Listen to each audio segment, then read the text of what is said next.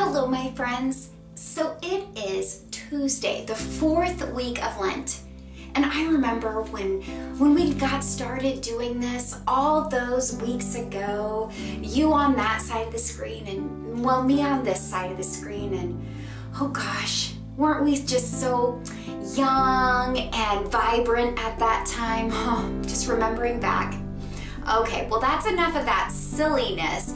But I am super happy that you have been able to carve out this time in your day, in your weeks, to be able to um, press play on your side of the screen and, and get into God's Word as we look at the Psalms as they relate to our Lenten journey. For today, let's go ahead and get into that next one. We're going to look at contrition and we're going to use Psalm 51 to help draw us closer to that word. Psalm 51 17 says this The sacrifices of God are a broken spirit, a broken and contrite heart, O God, you will not despise. Guilt, shame, remorse, all three get bundled together into contrition. Have you ever heard of a convicted criminal who expresses guilt and shame but shows no remorse?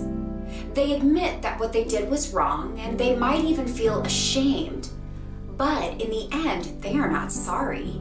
And under the same circumstances, they might even do it again. It hits home, doesn't it?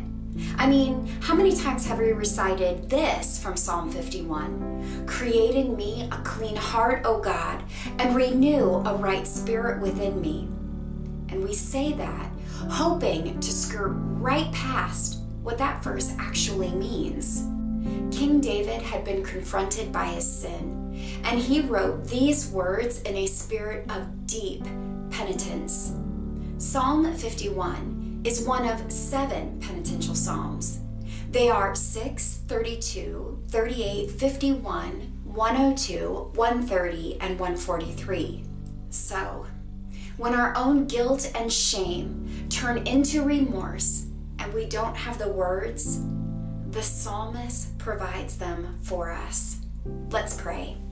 Forgiving Lord, purge us with hyssop, and we will be clean. Wash us, and we shall be whiter than snow.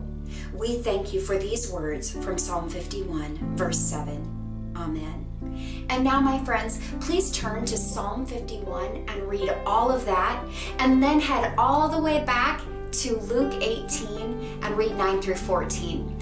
I love you, my friends, and I will see you tomorrow. Bye.